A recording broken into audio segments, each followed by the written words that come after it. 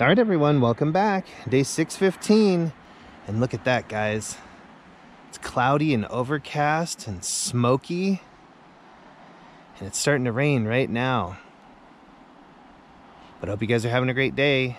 And don't forget to get out and get your steps in. Even if it's raining.